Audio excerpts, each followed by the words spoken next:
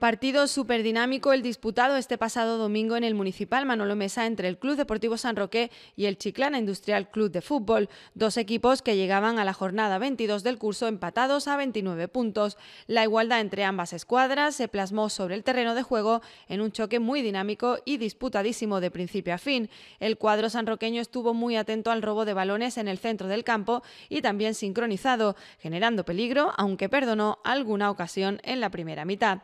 Su parte, el Chiclana Industrial, con una buena nómina de futbolistas en su plantilla, estuvo muy compensado en todas las líneas y no generó mucho peligro en el primer tiempo. Sin embargo, fue muy efectivo en un descuido de la zaga local para adelantarse en el marcador en el minuto 32 con el tanto de Antonio Herrera.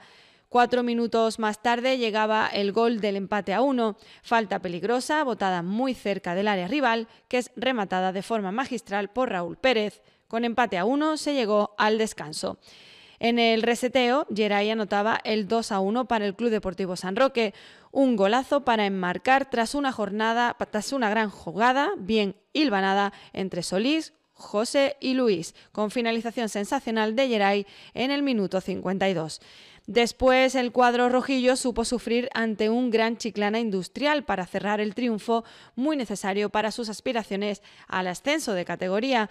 Ahora plantilla y cuerpo técnico encaran la semana de trabajo con la mirada puesta en el próximo envite, en el que visitan al Ciudad de Cádiz, tercero en la clasificación general con un total de 39 puntos, en un partido donde los sanroqueños quieren sacar un resultado positivo.